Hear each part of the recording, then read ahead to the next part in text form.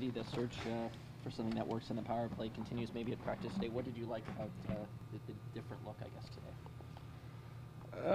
Uh, you know, uh, when you make uh, adjustments to uh, power play units, to top offensive units, you try to do it in the mind, the set that you're going to stimulate something a little different. And that's all that we're, we're trying to do. It doesn't say it's cast in stone.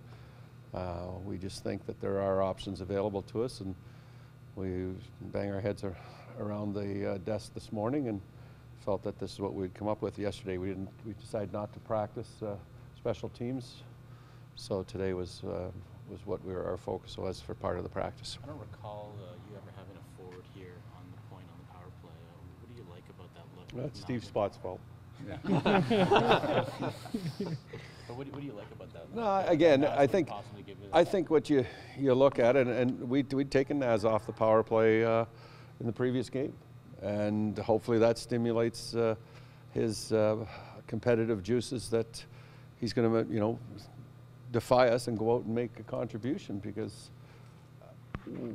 the mindset with this is is that we have possibly our top five offensive players on the ice.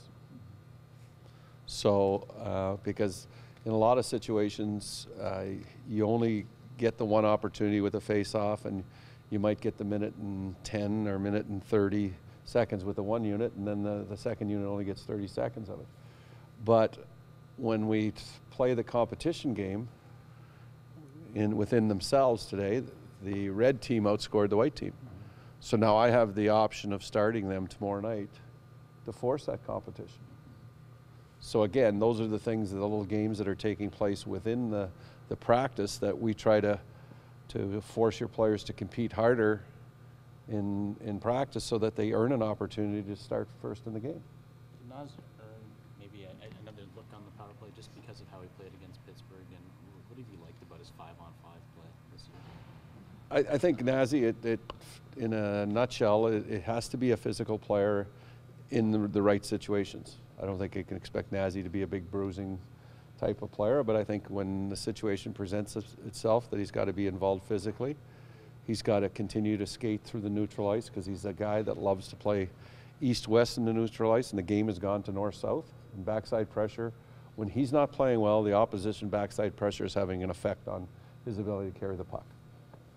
You've got five games at home, straight ones coming up. Uh, is playing better at home much a state of mind as anything else?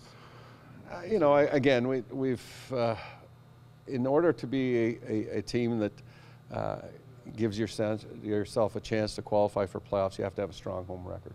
I don't care.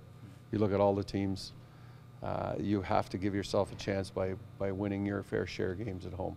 We know that um, the schedule is going to get road weary here over the Christmas season. We're going to play lots of games on the road, so yeah, it's our opportunity for us to get our team playing to a high level at home.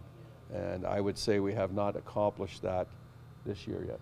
That challenge in Toronto is, is greater than other teams, though, would you agree? Uh, I think there's too much made of it, and then when you continue to talk about it, it fo- focuses on the negative.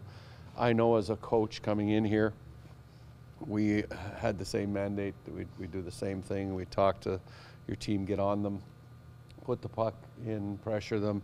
Their fans will take a negative approach if they're not executing, if they're not, if they're hemmed in their zone, all those things. So I'm I know firsthand what's going on in the opposition's dressing room.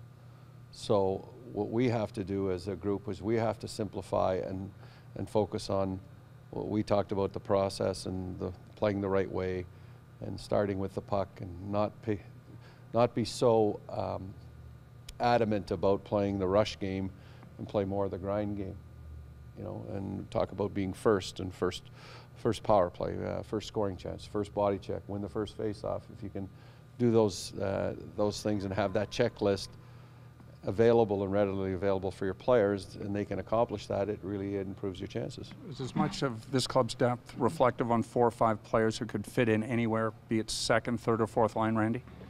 Yeah, and I think especially since the emergence of uh, Komarov and Santorelli, you know, and, and both those players we would not have penciled in at the beginning of the year to be, you know, top six forwards or top offensive players.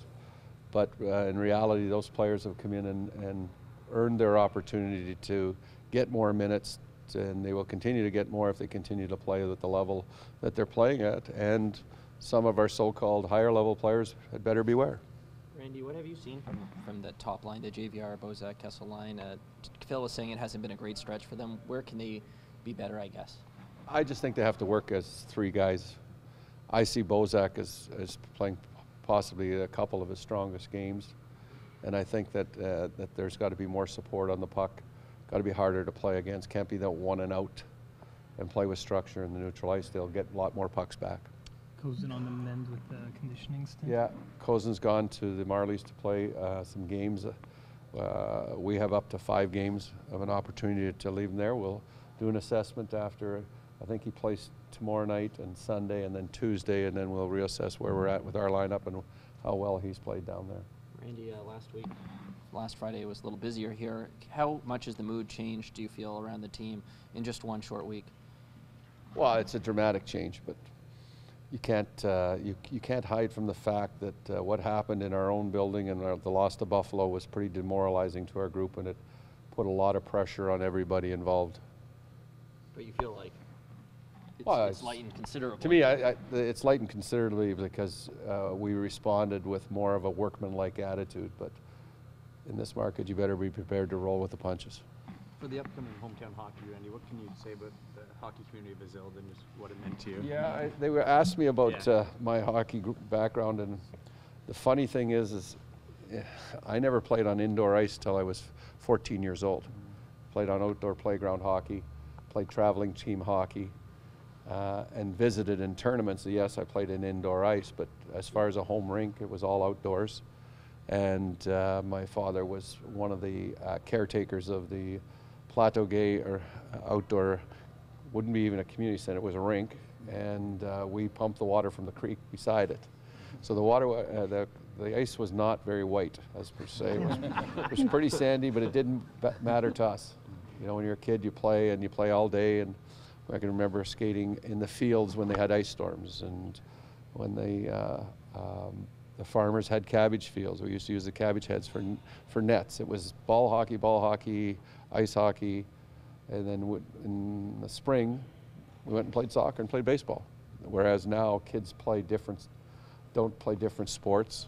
We played all the sports, and we were we were well rounded in a lot of them. Uh, we thought we were good in every one of them, but as time went on, they proved to ourselves we weren't very good at it, a lot of them. But we played them and we had fun, and we grew up rural route, grew up in a community that was probably 2,500 people.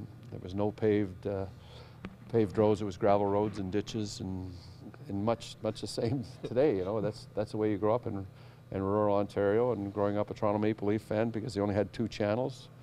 You were either Montreal Canadian fan or a Toronto Maple Leaf fan because you had CBC French and CBC English. Simple as that.